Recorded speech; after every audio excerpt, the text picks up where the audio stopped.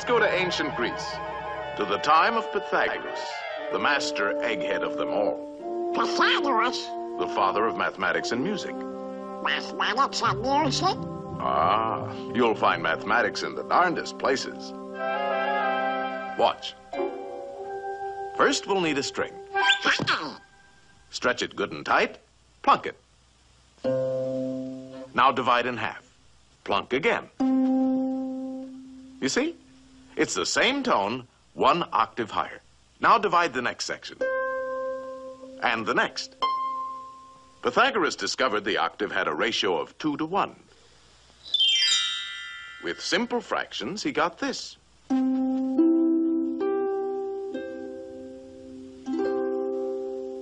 And from this harmony in numbers developed the musical scale of today.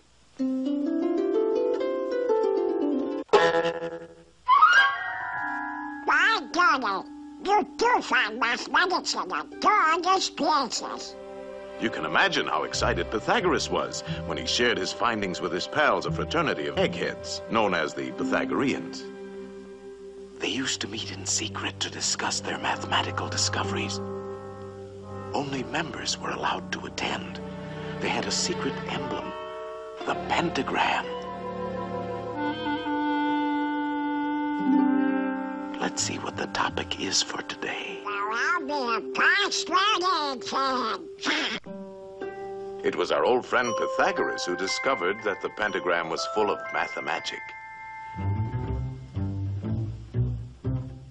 The two shorter lines combined exactly equal the third. And this line shows the magic proportions of the famous golden section. The second and third lines exactly equal the fourth.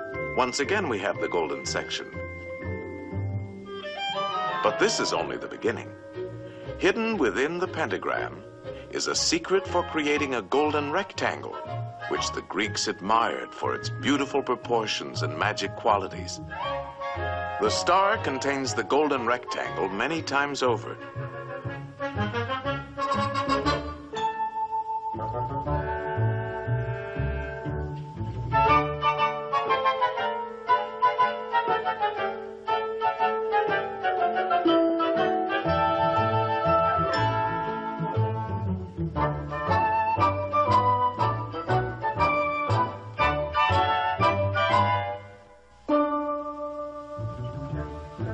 It's a most remarkable shape. It can mathematically reproduce itself indefinitely.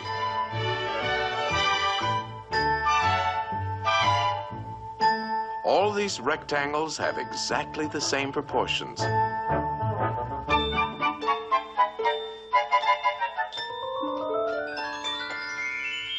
This figure also contains a magic spiral that repeats the proportions of the golden section into infinity.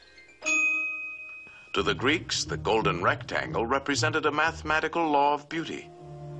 We find it in their classical architecture. The Parthenon, perhaps one of the most famous of early Greek buildings, contains many golden rectangles.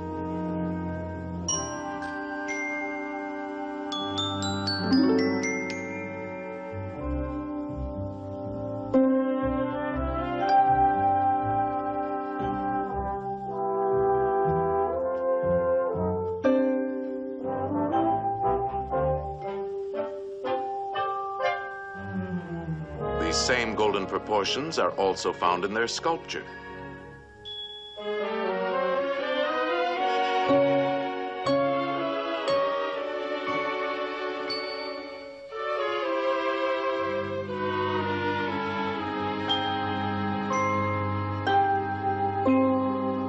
In the centuries that followed, the golden rectangle dominated the idea of beauty in architecture throughout the Western world. The Cathedral of Notre Dame is an outstanding example. The Renaissance painters knew this secret well.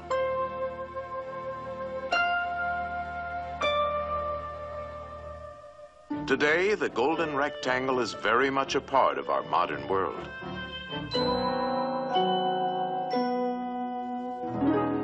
Modern painters have rediscovered the magic of these proportions. Indeed, this ideal proportion is to be found in life itself. Boy, oh boy, oh boy. This is mathematics. I got mathematics who figures like that. Ah, ah, ah, Donald. Get me to it. No, no, Ideal proportion. not quite. Uh-uh. No, I'm afraid not. Well, we can't all be mathematically perfect. Oh, yeah? Yeah, I knew I could do it.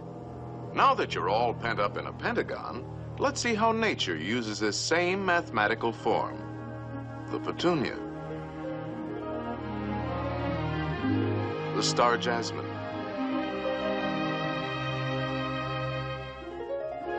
The starfish.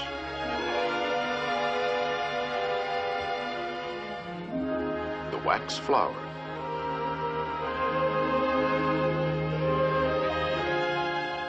There are literally thousands of members in good standing in nature's Pythagorean Society of the Star.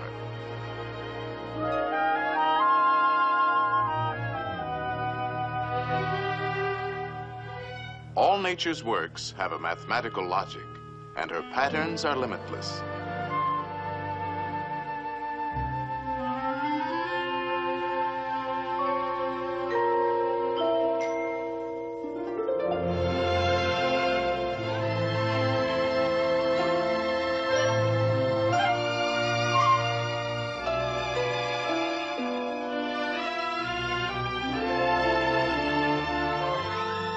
Magic proportions of the golden section are often found in the spirals of nature's designs.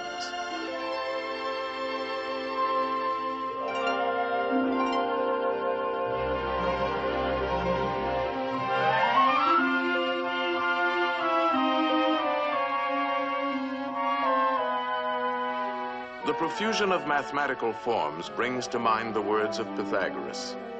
Everything is arranged according to number and mathematical shape. Yes, there is mathematics in music, in art, in just about everything. And as the Greeks had guessed, the rules are always the same.